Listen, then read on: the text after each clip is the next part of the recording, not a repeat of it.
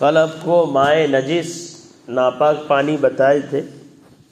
अब दूसरी उसके आगे की किस्म है माए मशकूक। माए मशकूक वो पानी है जिस पानी के अंदर गधे ने या खच्चर ने मुँह डाल दिया।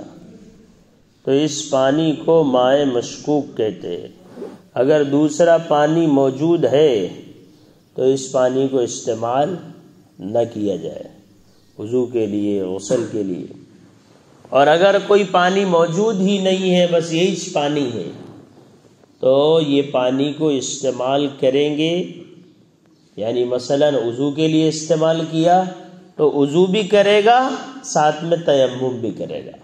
अगर गसल के लिए इस्तेमाल किया है तो गसल भी करेगा और तयम भी करेगा, क्योंकि इसके पाक और नापाक होने में शक है, इसलिए कि दोनों तरीकों की रिवायत है।